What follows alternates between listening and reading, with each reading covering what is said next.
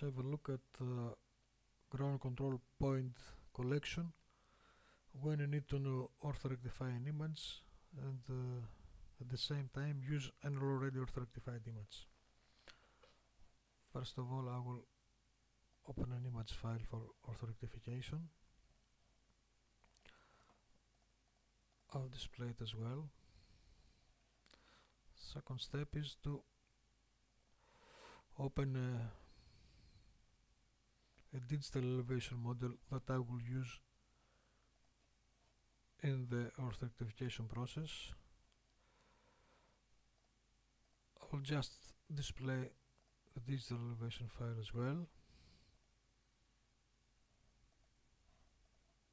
Okay, here's my digital elevation model file and I'll load an already orthorectified image that I will use for ground control point collection. Okay, just open a new display and visualize the already orthorectified image.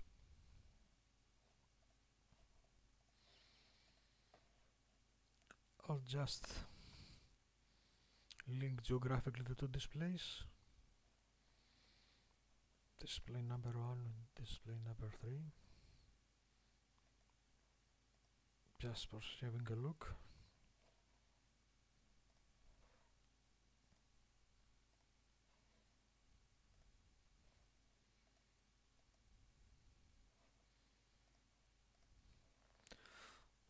The first thing I need to do in order to collect ground control points from the already orthorectified image is to associate the already orthorectified image with the DEM file.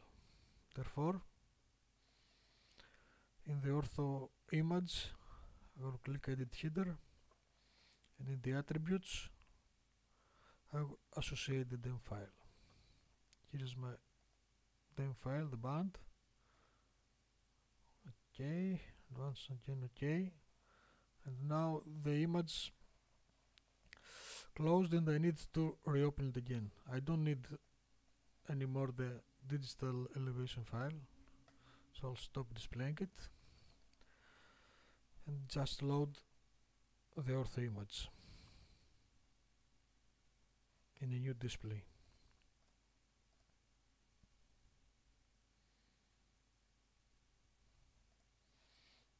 Now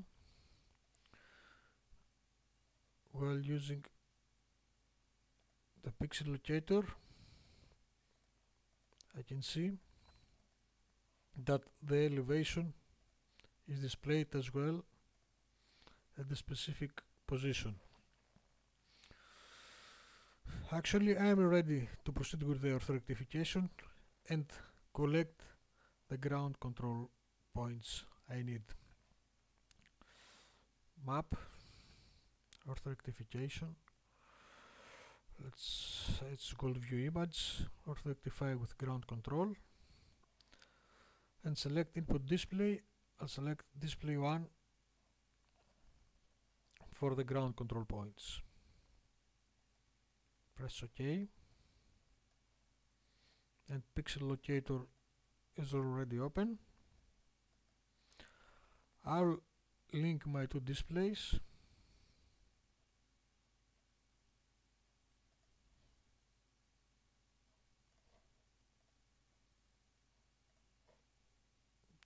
geographic link. And uh, as I can see now I'm ready to collect my ground control points. Actually when I select a point let's say the corner of this building what I need to do is to unlink the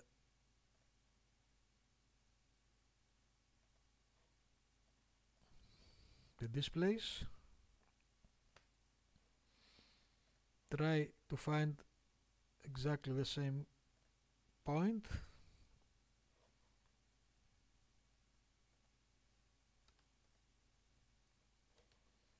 when I think I'm done I'll just press export to export this point to the ground control position if I, if I want to I can change the projection.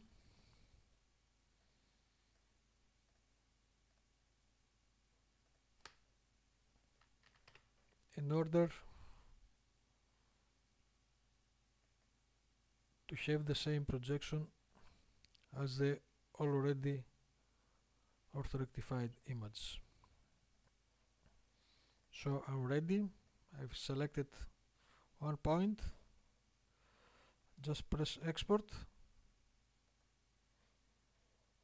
and all data appear in the ground control point selection interface. I'll add this point and continue for another point.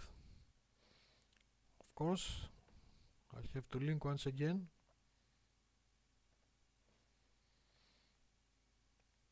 my viewers in order to easily detect the control points I'm going to use. Okay, I'll just use this corner. And link once again.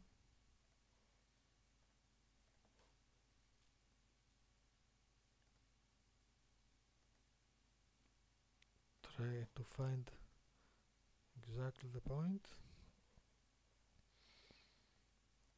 and export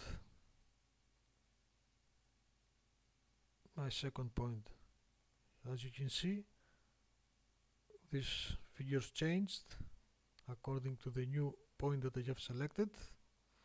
And while I'm adding point point number 2 has been inserted. I'll have to continue like this in order to collect as many control points as I need in order to achieve an acceptable RMS error. I'll just delete these two points and uh, restore points that I have created a few minutes ago. As you can see, there are 24 ground control points and the RMS error is 11.5 I'll show the list of the ground control points.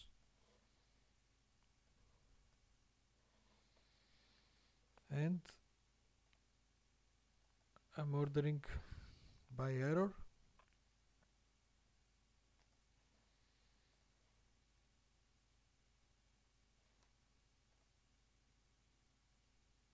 diff uh, remove several control points with a high error. You've seen that the RMS error has changed to a lower value. Actually when you select ground control points you need to have them uh, uh, this uh, in distributed in a way that they create a uniform uh, let's say matrix in the image and uh, create uh, the smallest error measure that you need to achieve. That's all for the ground control point collection using an already orthorectified image.